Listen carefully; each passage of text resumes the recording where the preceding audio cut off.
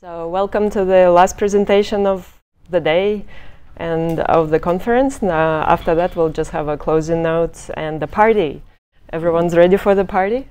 Um, and tomorrow, um, I hope you all come into the code sprint to tackle a couple of issues, those pesky issues in those modules. Uh, welcome to my presentation, Accessibility in the WYSIWYG Editors. Uh, so we have um, accessibility is always sort of the last thing on the list. It's a last presentation of the day as well, but it's very important. Um, hello, my name is Janna. Um, I'm a so, uh, software engineer from Tomato Elephant Studio. Uh, here's my Drupal.org profile. Um, I've been presenting here and there on the meetups and um, on DrupalSouth, trying to um, when I build my presentation, I try to find out something new and maybe solve a couple of problems along the way. Who is this presentation for? So it's presentation for everyone, for project managers, project owners, designers, developers, and testers. Um, and on the agenda, uh, we've got um, web, what is web accessibility, uh, what's uh, accessibility for WYSIWYG editors, um, the CK Editor 5 and accessibility as um, CK Editor 5 is now default um, editor for Drupal 10. Drupal 10 CK Editor and accessibility. And we'll go through accessibility by design checklist. Uh, so what is accessibility on the web development? So it's just enabling users all from different walks of life and abilities um, to use to be able to use our products, our services. Why is it important? You need to give um, all everyone equal access to your services and to your products. It's, uh, it creates a better user experience. It creates a better discoverability of your content for search engine optimization. And also it's a legislative requirement. So in Australia and New Zealand, for example, in New Zealand, the guidelines go every web page must meet WCAG 2.1 at level 2 uh, AA, subject to a few exceptions, and must they defined as indicates an absolute requirement. so they're pretty strict in New Zealand. Um, so there are a couple of standards were developed during over the, um, the years um, um, from the Web Accessibility Initiative, from Web uh, Consortium, and mostly um, the minimum level, especially if you're working in the government environment, it's um, uh, guidelines 2.1 at AA level. There's lots of lots of resources of what exactly that includes. And the accessibility laws are enforced sometimes uh, in uh, United States more than in Australia and New Zealand. I haven't found any uh, litigations in New Zealand, but in Australia there were a couple of interesting cases. One, um, especially for the Sydney organizing committee for the Olympic Games, um, and the case was the beautiful website just had a lot of images that didn't have alternative text. So um, users couldn't use the website. Um, and the other one was very interesting as well. So the um, person Mesnage versus Coles. So the lady had an issue.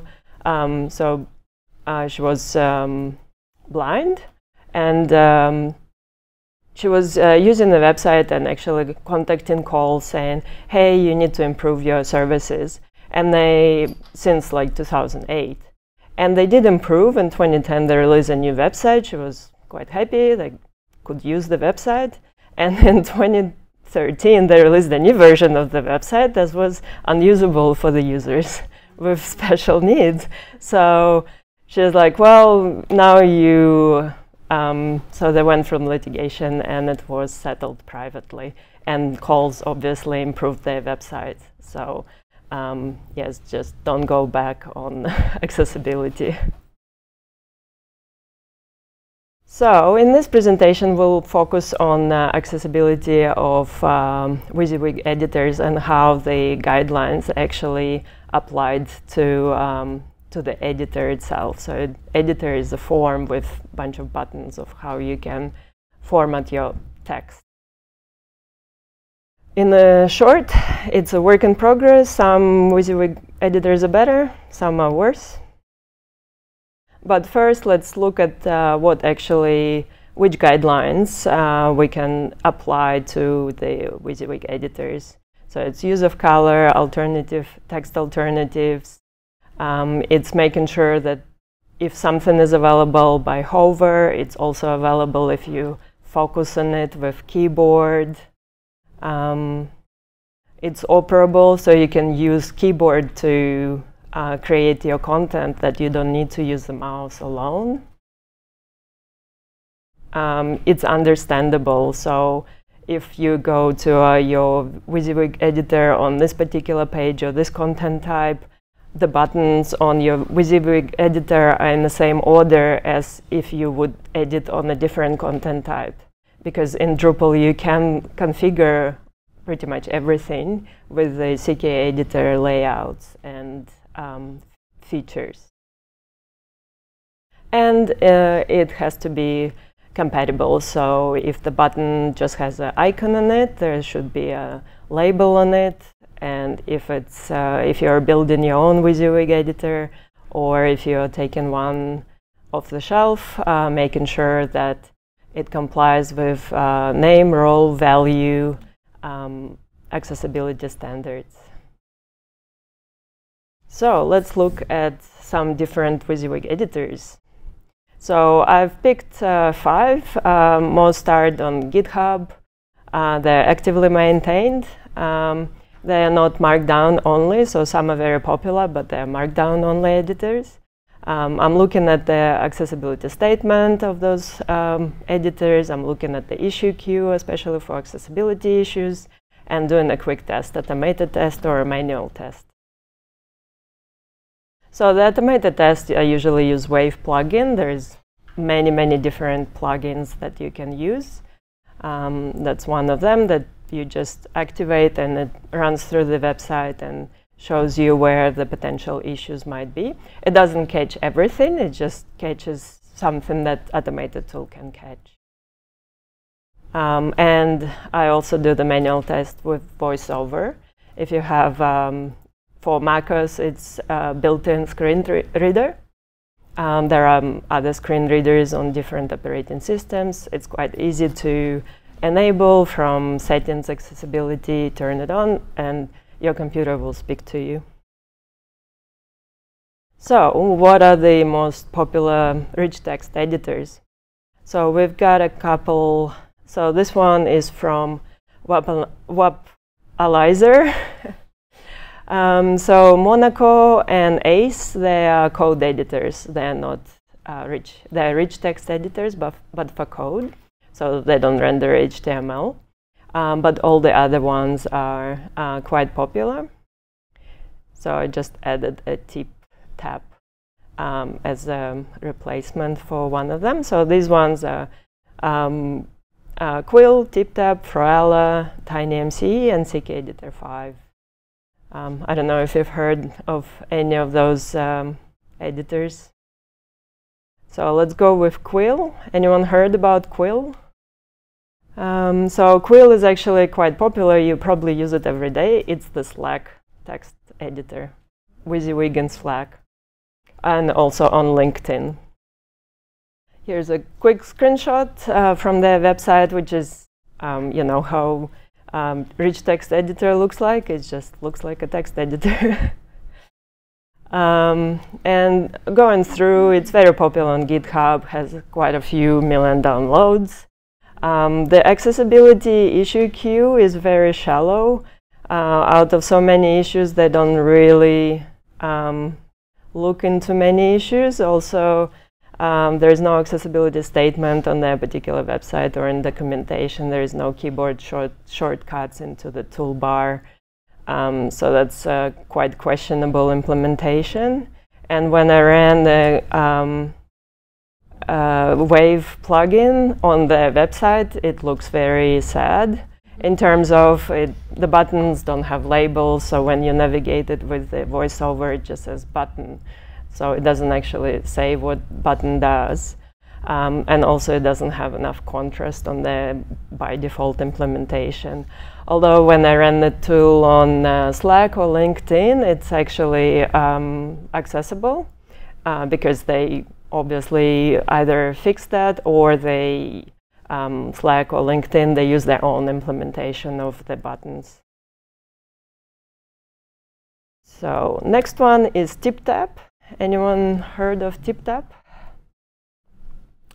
So anyone's using Substack? Uh, a now popular blogger writer platform. So that's um, used um, on the Substack. So it just um, there are a um, couple of implementations where one can be dynamic, where you start typing and the toolbar shows up while you type. So it's also quite popular, uh, heavily downloaded. Also with the accessibility issue queue is very shallow, they're not really looking into it and they do have documentation for accessibility on their website um, which says we don't really have any accessibility focus at this moment. like, oh, okay. and when I did the ran uh, Wave plugin on um, Substack, um, yeah, it's just even they didn't fully implement the accessibility on their particular items, so it just doesn't have um, button labels, which is quite sad because it's it's it's a huge um, writers platform, um, and also on the voiceover test, um, uh, you don't see the buttons uh, labels. So the next one is Froala. Anyone heard of Froala? So this one is used in Salesforce. So yeah, the it looks just like any um, other um, editor.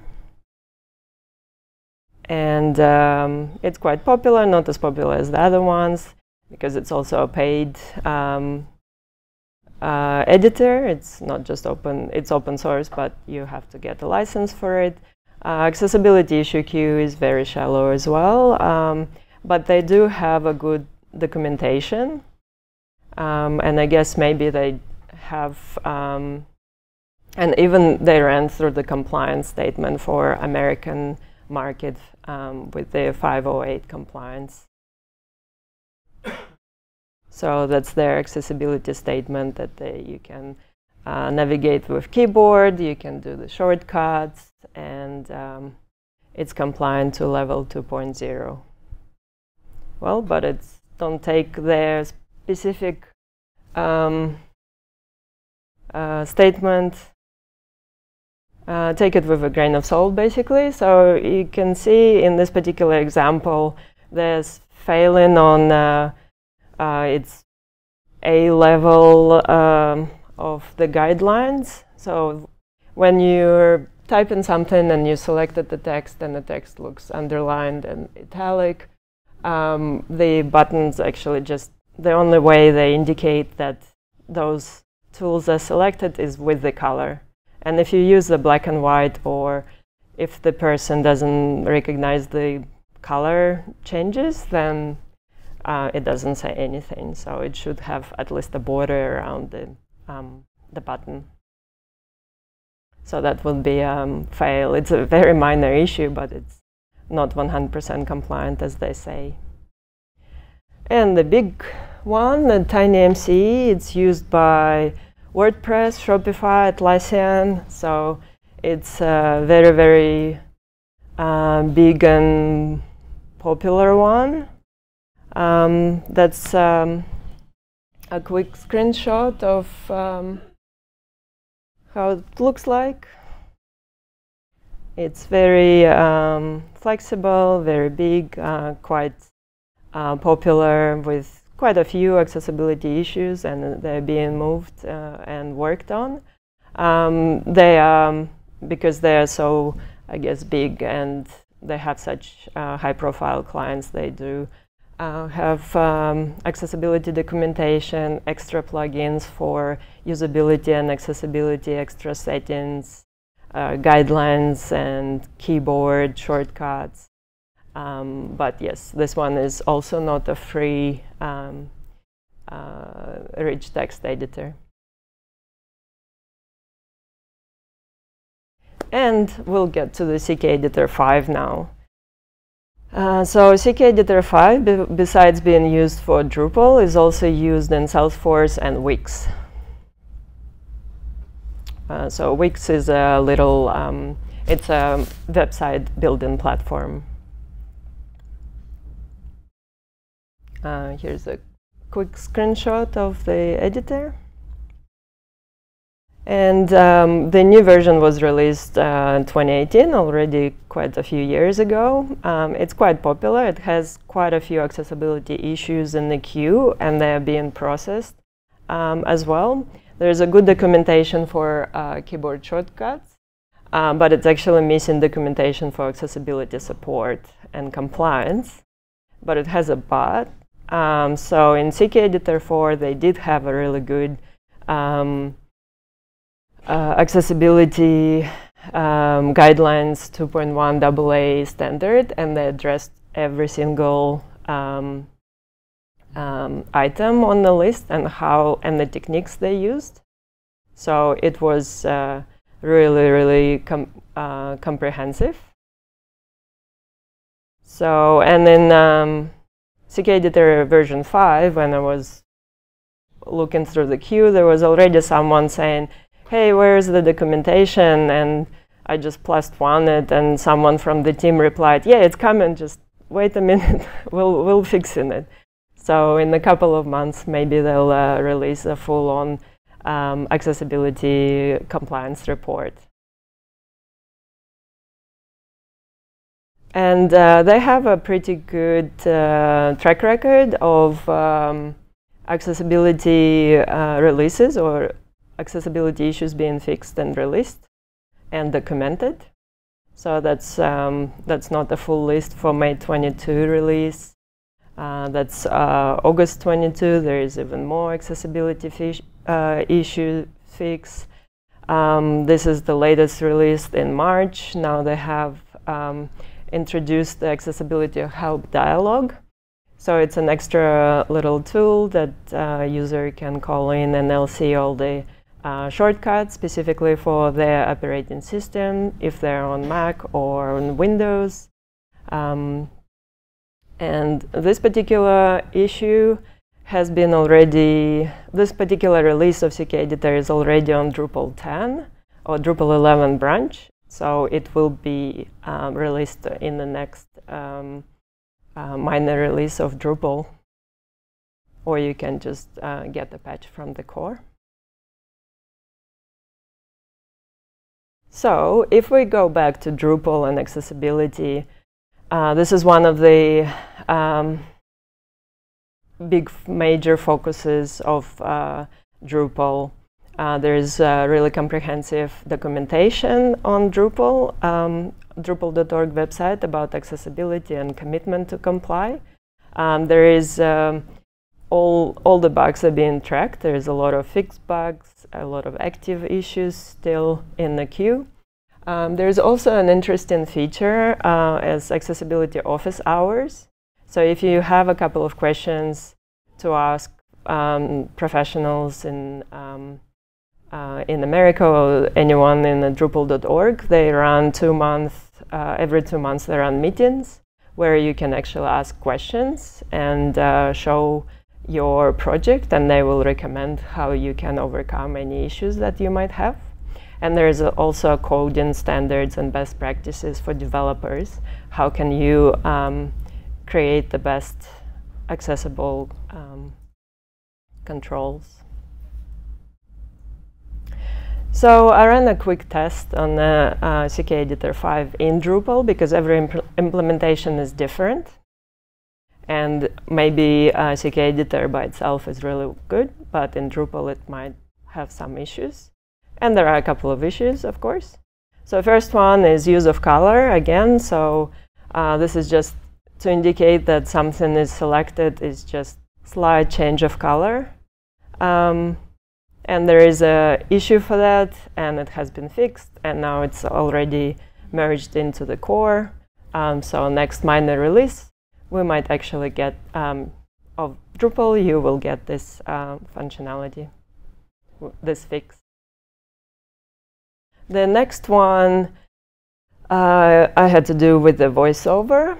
So when you have your uh, voiceover on, it reads out all the labels on the form fields and it tells you what sort of, which um, field you're modifying, which field you're editing. And with uh, WYSI, with CK Editor 5, it just reads out editor editing area main. I don't know, I have like a dozen of uh, WYSIWYG editors on the page in this particular. so for the user who needs to actually know on which particular um, field they're on, it will be a bit problematic. And uh, there is an issue in the issue queue for CK editor for this particular item because they don't set the ARIA label to the um, to the label of the field. It was there for CK Editor 4. And uh, there is a Drupal core issue to uh, just say, hey, I have this label, just paste it into the CK editor. So after that, if you apply this patch, you will um, actually get the proper uh, text label for the um, CK editor. So another issue fixed. Uh, anyone knows what the magic keyboard shortcut to CK Editor toolbar is? and where do you find out that? Um, so when you um, enable it, there's like documentation from the um, Drupal core, um, from the modules. So not very accessible. Um, so uh, why not um, just have it under just there where you've got your CK editor so that you can see that there is a help available. Just make it as a, a configurable um, um, configurable text. So TinyMCE, for example, has it on the um, default configuration as well so that you can have it um, as a quick help. And um, there are a couple of extra modules that you can install for CK Editor 5 for Drupal to make the uh, editing experience better and better accessibility. So there is a CK Editor abbreviation just to create more um, semantic tags um, to your um, CK Editor editor advanced link where you can add extra attributes to the links, open a new window or um, a title if it's um, an image uh, link, for example. Interesting one, find and replace. So in particular um, editor, you can click find and replace and it will just replace everything. You can't really do it with within the browser. And also CK editor word count. So it will show you how many words, how many characters are in your um, editing. And um, you can build the accessibility into your plugins. So just use ARIA labels. Uh, don't just use uh, color to indicate uh, features or functionalities or states. And always test keyboard navigation. And accessibility by design. So this is a really quick um, guide on how to um, build the accessibility into your uh, workflow, into your development and design. So when you, you start a new project in the discovery stage, uh, find and define what's the level of compliance, which tools, which environments you will be using, and uh, train accessibility specialist champion in your team. in the design stage, make sure your designers and UX specialists know the uh, accessibility guideline levels, especially uh, adaptable, use of color, uh, contrast, uh, hover and focus state, and visible focus. Uh, lots of designers think that like, oh, underline is not beautiful or um, outline when on focus is not beautiful, so they uh, remove those. And this is something really easy to fix um, during the um, design stage. And adaptable is how does it look on mobile? How does it look on desktop? Just um, it you the design needs to be uh, described. And once those things are solved, the developers don't have to go back to designers and say, hey, this color is not proper contrast, which shade of yellow should I use instead? In the development stage, um, educate developers about accessibility levels. Um, add that to definition of done. So color, keyboard, um, focus, um, perform accessibility testing on different platforms with lots of different tools. And develop accessibility policy. So lots of companies um, or lots of government organizations do have accessibility policies. So it's basically just what's your level of compliance, what's your commitment, um, and any contact details so that if anyone who has any issues might contact you and say, hey, there's something I can't do with or use on your website, can you fix it so that you can actually address the issue? And in the development stage, there are a couple of um, um, Drupal uh, modules that you can have a look at and see if you um, would like to implement them. So that's um, automatic alternative text, um, which uses AI um, so you need to subscribe to some sort of service. Uh, block ARIA landmark roles. So if you have blocks, um, if you use blocks, you can actually set the role on the block. So if it's a role search or role article or sidebar, um, and there is also keyboard shortcuts um, Drupal module where you can press Command S and it will save um, And at go live, um, just you will be pretty much set to go live. Um, just do your final compliance reports and publish your accessibility policy. So to recap, uh, we've got quick wins. When you design and develop, keep in mind color, keyboard, name, role, value, just making sure labels are there, you can navigate with keyboard, and the colors are there. Simple.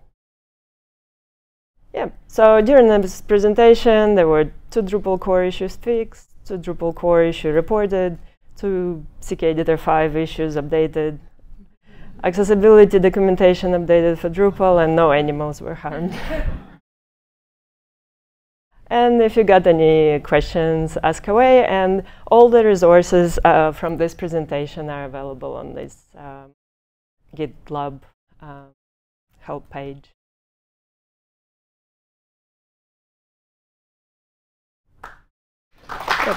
너도 가서.